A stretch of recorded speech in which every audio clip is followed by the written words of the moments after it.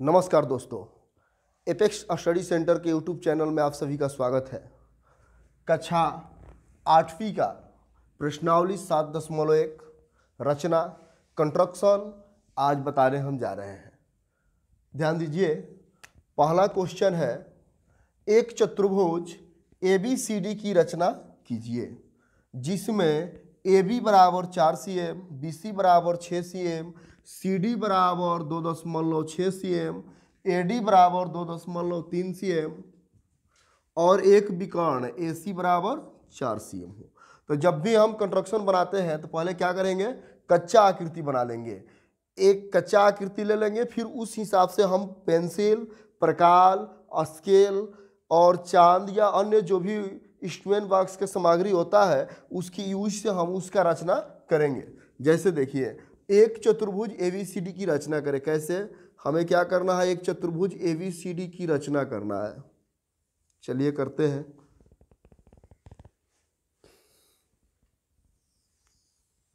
एक चतुर्भुज हमने ए बी सी डी ले लिया। रचना किया ए बी सी डी अब इसका मान बैठाते हैं। देखिए, इसका मान क्या दिया हुआ है? ए बी का मान दिया है चार सी एम ए बी कितना होना चाहिए? चार सी एम बी सी का मान कितना दिया हुआ है? छः सी एम सी डी का मान कितना दिया हुआ है? ये सी डी कितना है? दो दशमलव छः सी एम ये कच्चा आकृति है, एक अंदाज पर इसको हम बना रहे हैं।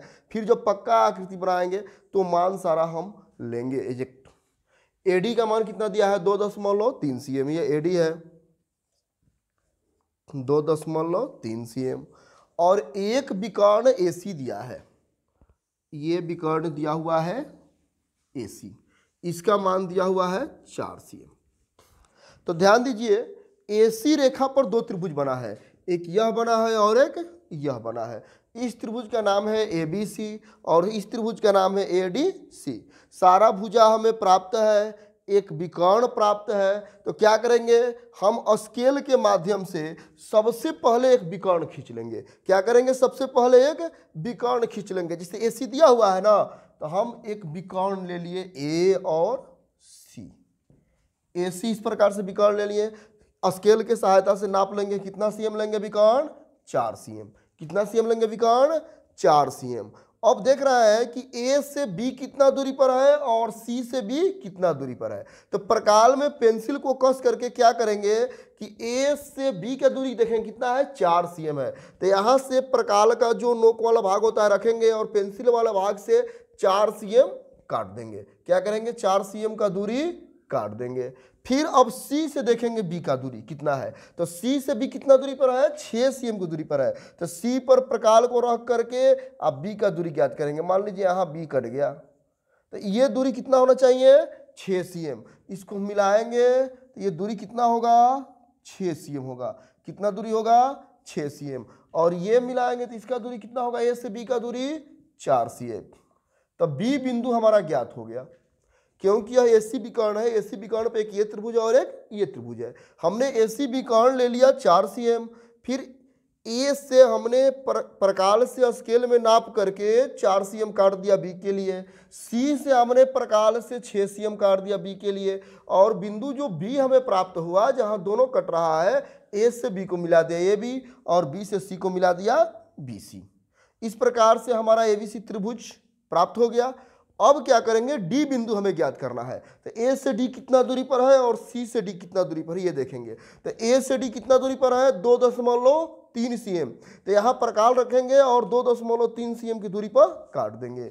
फिर सी से कितना दूरी पर है? दो दशमलव छः सी एम इसको भी क्या करेंगे? सी पर प्रकाल रखेंगे और स्केल से दो दशमलव छः सी एम नाप कर प्रकाल से काट देंगे। मान लीजिए यहाँ कट गया तो ये देखेंगे।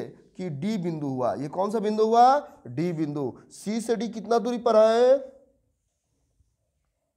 देखिए सी से डी कितना दूरी पर है? दो दशमलव छः सी एम इसके बराबर हमने चाप लेकर के इसको काटा है। ए से डी कितने दूरी पर है? ए से यहाँ डी देखिए, दो दशमलव तीन सी एम की दूरी पर है। तो ये दूरी कितना हुआ?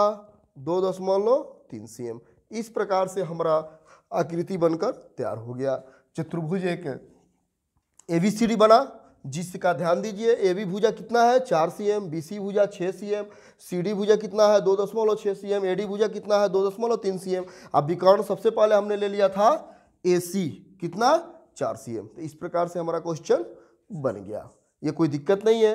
ये समझ में आया है। तो ज़रूर आप कमेंट कीजिएगा लाइक कीजिएगा शेयर कीजिएगा और सब्सक्राइब ज़रूर कीजिएगा, जिससे हमारा हर वीडियो आप सबसे पहले देख सकें। नमस्कार बच्चों। एपेक्स स्टडी सेंटर के यूट्यूब चैनल में आप सभी का स्वागत है। कंस्ट्रक्शन का, कक्षा आठ का, प्रश्नावली सात दशमलव एक का क्वेश्चन नंबर दो। एक चतुर्भुज पी क्यू आर एस की रचना कीजिए। जिसमें पी क्यू तीन दशमलव आठ सी एम कितना है? तीन दशमलव आठ सी एम क्यू आर दो दशमलव छः सी एम पी एस पाँच सी एम और ये पी एस कितना है? पाँच दशमलव पाँच सी एम आर एस है पाँच सी एम और पी एस कितना है? पाँच दशमलव पाँच सी एम और एक विकर्ण का लंबाई दिया है पाँच सी एम तो पहले हम एक कच्चा आकृति का रचना कर लेंगे।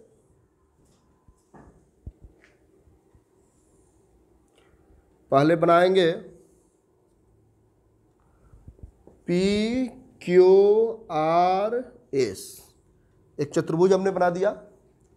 पी क्यू कितना दिया है? तीन दशमलव आठ सी एम क्यू आर कितना दिया है? दो दशमलव छ सी एम आर एस कितना दिया है? पाँच सी एम उसके बाद पी एस पी एस का मान कितना दिया है? पाँच दशमलव पाँच सी एम एक विकर्ण दिया है पी आर ये विकर्ण का लंबाई दिया है। पी आर ये विकर्ण दिया है, इसकी लंबाई कितना दिया है? पाँच सी एम कितना दिया है? पाँच सी एम चलिए, हम स्केल और प्रकाल की सहायता से इसको बना सकते हैं। देखिए, यह स्केल हो गया आपका। सबसे पहले हम विकर्ण पी आर ले ले रहे हैं पाँच सी एम बनाने के लिए। कैसे भी ले सकता है, ऐसे भी ले सकता है, ऐसे भी जैसे मन ले सकता है, ऐसे भी लेकर के बना सकते हैं चतुर्भुज। तो ऐसे ही हम लेते हैं, चलिए। कितना है विकर्ण? पी आर है पाँच सी एम तो यहाँ से हम पाँच सी एम का लेंगे। ये पाँच सी एम दिख रहा है ना? ये विकर्ण हो गया। इसका नाम क्या है? पी आर यहाँ पी दे देंगे, यहाँ आर दे देंगे। इसकी लंबाई कितनी है? पाँच सी एम कितनी है? पाँच सी एम अब चलिए हमें पी से क्यू पी से क्यू का दूरी देखना है और आर से क्यू का। ये क्यू बिंदु ज्ञात करना है ना, क्योंकि इसमें दो त्रिभुज बन रहा है कि ये और ये। किए इस रेखा पर पी आर रेखा पर। तो पी से क्यू और आर से क्यू काट देंगे तो एक त्रिभुज हमारा आ जाएगा। फिर P से इधर S और R से S काट देंगे तो दूसरा त्रिभुज आ जाएगा। इस प्रकार से दो त्रिभुज मिलकर एक चतुर्भुज बन जाएगा, क्योंकि चतुर्भुज के कोई भी विकर्ण उसे दो त्रिभुज में क्या करता है? बांट देता है, डिवाइड कर देता है। तो ध्यान दीजिए, P से Q की दूरी कितना है? तीन दशमलव आठ। हम क्या करेंगे? प्रकार के माध्यम से तीन दशमलव आठ नाप लेंगे। देखिए, ये प्रकार हो गया यह स्केल हो गया। देखिए, तीन यहाँ पर है ना, तीन दशमलव आठ हमें लेना है। तो तीन दशमलव आठ, ऐसे या ऐसे जैसे भी नप सकते हैं। ये तीन हो गया, तीन के बाद एक, दो, तीन। देखिए, यहाँ पर है, आपका छोटा प्रकाल में भी ऐसा दिया हुआ है। आप सभी उसको देख सकते हैं। कितना नापना है? तीन दशमलव आठ। बिल्कुल। देखिए, ये तीन दशमलव आठ हो गया। कितना हो गया? तीन दशमलव आठ। अब क्या करेंगे? पी से क्यू के लिए तीन दशमलव आठ काटेंगे। यहाँ पर इसको पकड़ लेंगे पी बिंदु पर और तीन दशमलव आठ के लिए इसको काट देंगे। काट दिए? अब आर से कितना लेना है? ध्यान दीजिए पी से क्यू है तीन दशमलव आठ और आर से क्यू है दो दशमलव छ तो ये दो हो गया ना ये अढ़ाई हो गया। ये दो आइए बीच में अधवा है ना, तीन और दो के बीच में अढ़ाई हो गया। छ है तो एक पॉइंट अधिक ले लेंगे। चलिए नाप देते हैं। ये हो गया दो पॉइंट छ आर से अब क्या करेंगे? दो पॉइंट छ काट देंगे। आर बिंदु पर रखेंगे और रख करके ये दो पॉइंट छ काटेंगे। नहीं लड़ा, थोड़ा सी रेखा को और बढ़ा देंगे। ये। बढ़ गया? ये जहाँ पर कटा ना उस बिंदु क्या नाम हो जाएगा? क्यू नाम हो जाएगा। क्या नाम हो जाएगा? क्यू और स्केल के सहायता से क्या करेंगे इसको? मिला देंगे। क्यू को पी से।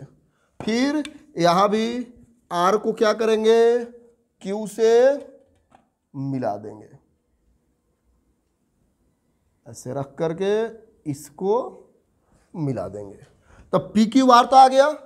अब क्या करेंगे? पी से हमें एस लाना है कितना? पाँच दशमलव पाँच और आर से पाँच। तो काटिए। पाँच दशमलव पाँच का चाप लेंगे। यह हो गया पाँच दशमलव पाँच। ये चाप हो गया पाँच दशमलव पाँच का। किसके लिए? पी से एस के लिए। पी से एस के लिए। चलिए पी से काटते हैं। ये पी बिंदु है ना? यहाँ से कट गया। पी से एस के लिए हमारा कट गया पाँच दशमलव पाँच। और आर से एस के लिए कितना काटना है? पाँच काटना है। चलिए पाँच काट लेते हैं। दशमलव पाँच कम केवल, थोड़ा सा कम। देखिए, ये पाँच ऐसे नाप लेंगे। देख रहा है ना? आपके छोटा स्केल में भी ऐसा दिया हुआ है, इसको नाप सकते हैं। यहाँ से आर से पाँच काटना है। आर पर इसको रखेंगे आर बिंदु पर, और इसको ऐसे काट देंगे। देखिए, यहाँ पर कट गया ना? जहाँ दोनों रेखा कट रहा है, उसका नाम दे देंगे। उसका नाम क्या दे देंगे? एस दे देंगे। इसका नाम क्या दे देंगे? एस दे देंगे। और स्केल से मिला देंगे। पी और एस को क्या करेंगे? मिला देंगे। देखिए। इधर आर और एस को क्या करेंगे? मिला देंगे। इस प्रकार से आप नाप कर देख सकते हैं, ये पी कितना आएगा? तीन दशमलव आठ। तीन दशमलव आठ दिया हुआ है ना? देखिए, जब नाप रहा है तो कितना आ रहा है? तीन दशमलव आठ सी एम कितना आएगा? तीन दशमलव आठ सी एम ये कितना आएगा? दो दशमलव छः सी एम ये कितना आएगा? पी से एस की दूरी पाँच सी एम कितना दिया हुआ है? पाँच सी एम ये कितना आएगा? पाँच दशमलव पाँच सी एम पी एस की दूरी कितना है? पाँच दशमलव पाँच सी एम आर एस की दूरी कितना है? पाँच सी इसको आप नाप कर भी यहाँ से चेक कर लेंगे। सही है तो हंड्रेड परसेंट सही है। तो इस प्रकार से बच्चों, आप कंस्ट्रक्शन को बना सकते हैं। आगे वाला भी क्वेश्चन इसी आधार पर है। आप कोशिश करें बनाने के लिए और ये वीडियो मेरा यदि आपको समझ में आया है तो ज़रूर इसे लाइक करें, शेयर करें, कमेंट करें और सब्सक्राइब ज़रूर करें। सब्सक्राइब करना नहीं भूलें, जिससे आप हर हमारा वीडियो को सबसे पहले देख सके। इसके लिए आप बेलाइकन वाला घंटी दबाना न भूलें। थैंक यू बच्चों।